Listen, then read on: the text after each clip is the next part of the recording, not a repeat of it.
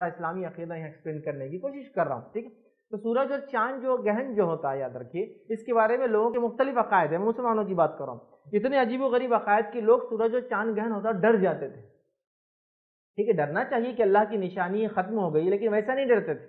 उनके पीछे बहुत सारी बदअकीदगियाँ मतलब इस्लामी अकीदे से हटकर बात होती थी, जो कि अनसाइंटिफिक भी थी और अनरिलीजियस भी थी, इस्लामिक पॉइंट ऑफ़ व्यू से याद रखिए। ठीक है तो बहुत सारी गलतफहमी होती थी, याद रखिए। उस जमाने में भी और आज भी हालाँकि इस्लाम ने इसका अकीदा बिल्कुल क्लियर कर दिया कि ये सिर्फ़ अल्लाह की एक निशानी है, ताकि अल्लाह दिखाता है इसके ज़रिए कि जैसा इसको थोड़ी देर के लिए बेनूर कर सकता है, हमेशा के लिए बेनूर कर सकता है, लेकिन लोगों ने पता नहीं क्या क्या अकीदे मान लिए। जब सूरज और चाँद गहन होता है, लोग कहते हैं, बहुत कसरत से जादू होता है।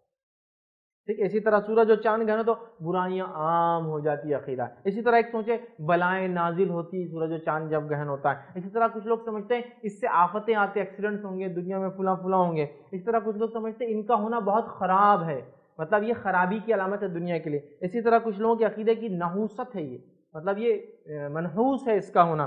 इसी तरह कुछ लोग समझते हैं सूरज और चाँद तकलीफ़ में आते हैं, जब गहन लगता है उनको। इसी तरह कुछ लोगों का सोचना है, बीमारियाँ आम हो जाती हैं इनके आने से। इसी तरह कुछ लोग ये समझते हैं कि औलाद पर जो होने वाली असर पड़ता है, इसलिए प्रेग्नेंट औरतों को काम नहीं करने देते, घर में सो जाओ बोलते हमिल औरत को। इसी तरह कुछ लोग सोचते हैं, शादी पे इसका बुरा असर पड़ता है तो जो महीने सूरज और चाँद गहन होता है, लोग शादी नहीं करते। जो दिन सूरज और चाँद गहन होता है, लोग शादी नहीं करते। जिनकी शादी गलती से तय होगी, कभी कभी तोड़ देते हैं, और जिनकी होगी तो लोग बोलते रहे इनकी शादी को अब ग्रहण लग गया भी से।